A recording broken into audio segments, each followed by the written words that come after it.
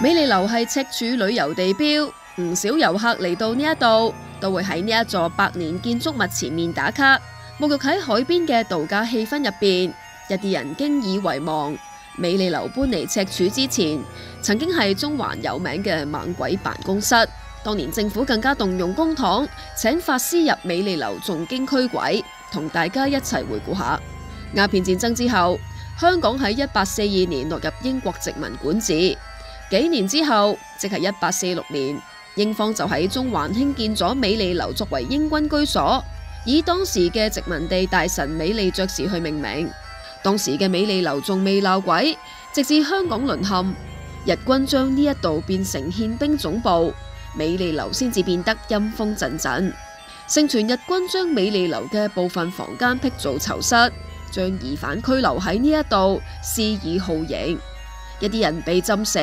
或者被鞭打致死。据讲当时喺美利楼惨死嘅冤魂多达四千人，系除咗医院之外最多人丧命嘅建筑物。自此，美利楼就怪事不断。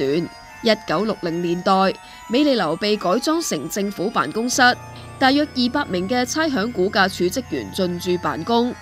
不过佢哋开工冇耐，就遇到种种怪事。有人话喺厕所门下边睇到一对脚。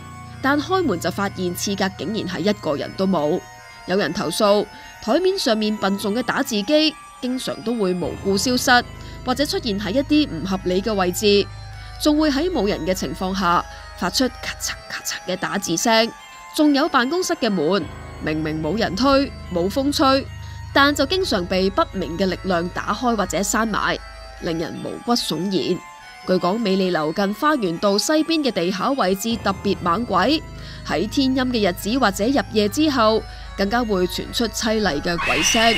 由于撞鬼事件不断，为咗安抚民心，一九六三年五月，政府动用公堂，安排咗五十六名嘅高僧主持法会诵经、洒法水、超度亡灵。呢一啲新闻档案就记录咗当时嘅情况。一九八零年代。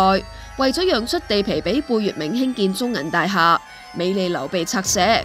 港英政府承诺会觅地重建保育，但美利楼重建天日之时，香港已经换上特区区旗。去到一九九八年，先至被安置喺赤柱海旁。